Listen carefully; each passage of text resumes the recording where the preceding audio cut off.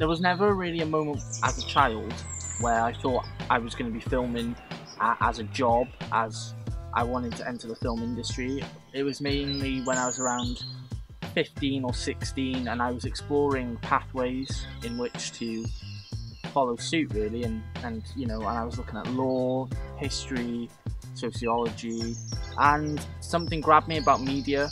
I did a TV and film production course at my local college and that gripped me. It's that sense of like being able to express yourself creatively, collaborate with other people and it just gives you such a such a sense of, of excitement and expression and I absolutely loved it. So from there, that's when I knew this is what I want to do with my life, this is what I want to pursue. Where I live is a very rural sort of environment. Um, you know, there isn't necessarily a big film industry around where I am. I'm based in a very small village in North Wales.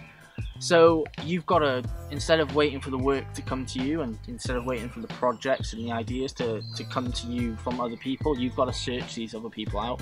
You can take inspiration from the people in your community to tell stories about, or if you don't do that, you can talk to the people who surround you, talk to your community, and bring together a team in order to tell a completely new story.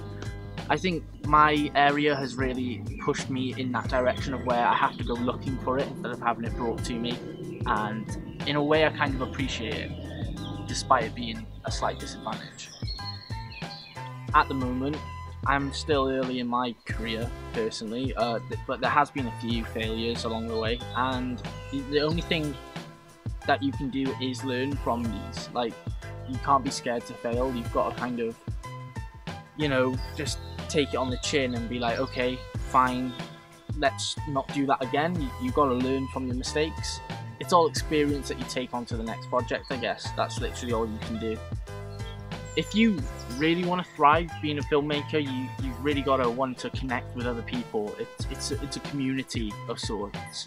It's, it's good to be a one-man trade sort of person where like where you can do everything and wear multiple hats and that is important but I think most of all, you've got to aspire to bring other people on board. You know, there is going to be people who might be better at camera work than you are. There may be people who's better at editing than you are, and you've got to not be afraid to bring them people in onto your project. It, it's a it's a whole art of collaboration, really.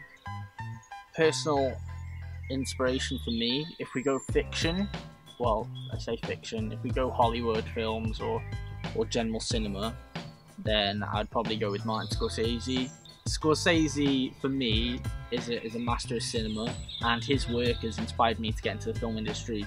Full stop. One night, Bobby Vinton sent us champagne. There was nothing like it. I didn't think there was anything strange in any of this. You know, a 21 year old kid with such connections. He was an exciting guy. He was really nice. He introduced me to everybody. Everybody wanted to be nice to him, and he knew how to handle it.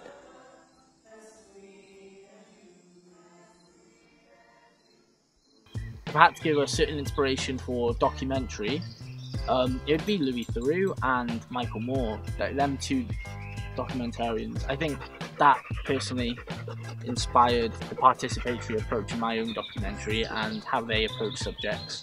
And I and I hope to learn from that and, and add my own stamp and authorship onto onto that style and take it in my own direction one day.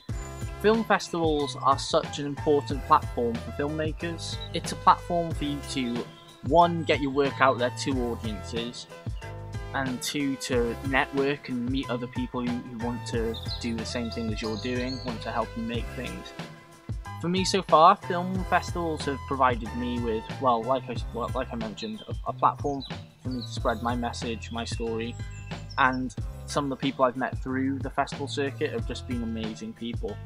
I look forward to seeing what comes with the rest of the festival circuit, as this is just the beginning for me.